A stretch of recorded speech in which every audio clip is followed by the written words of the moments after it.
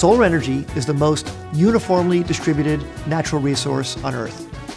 Our breakthrough technology is a new solar tracking system that points solar panels directly at the sun all day long.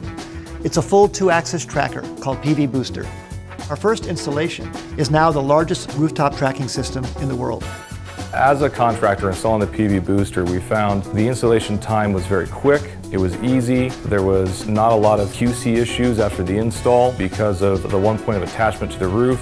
The advantage with the PV booster is that it's engineered to be somewhere around one pound per square foot additional dead load, and that is less than what you would see on typical fixed tilt racking systems.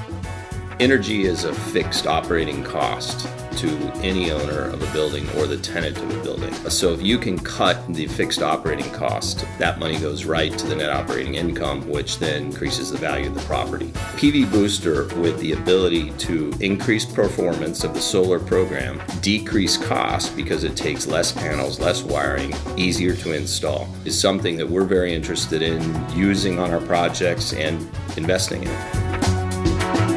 West Hills Construction is currently looking at deploying PV Booster on multiple projects in excess of 20 megawatts.